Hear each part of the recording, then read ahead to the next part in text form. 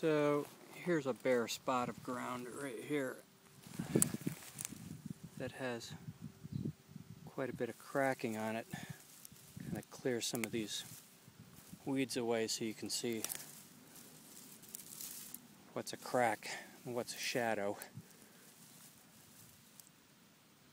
It basically looks like a a dried out arid part of the earth. If this is supposed to be some kind of clay seal, then it seems to me that cracks like these would let an awful lot of water seep directly through it.